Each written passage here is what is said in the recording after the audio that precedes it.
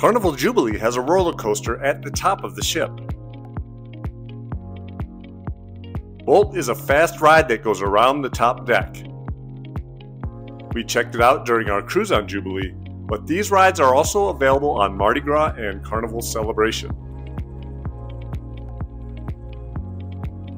The ride costs $15 for two laps around the top of the ship.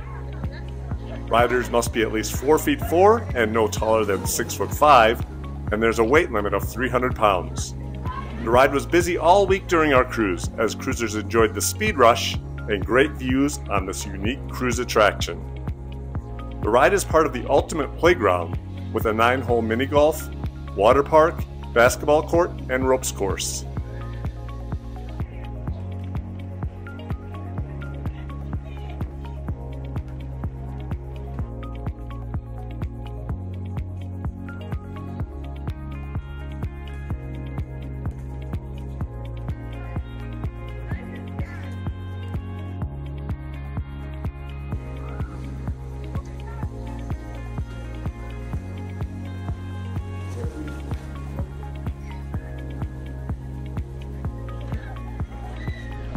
Now let's put you in the seat for a ride on Bolt.